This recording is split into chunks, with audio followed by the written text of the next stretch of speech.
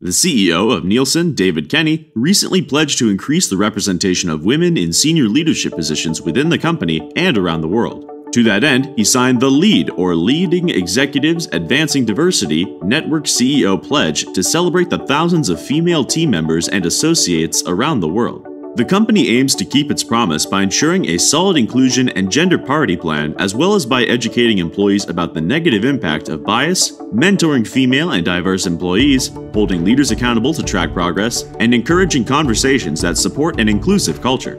Kenny said, Our entire organization is united in the pursuit of bigger, bolder outcomes. The pledge is a firm commitment that we will hire, retain, and promote women. When we fulfill that commitment, the outcome is not just greater representation of women in our organization, it will also lead to better business results for us and for our clients. Visit TechFunnel.com for other stories related to the MarTech industry. Connect with us on Facebook, Twitter, LinkedIn, and Instagram.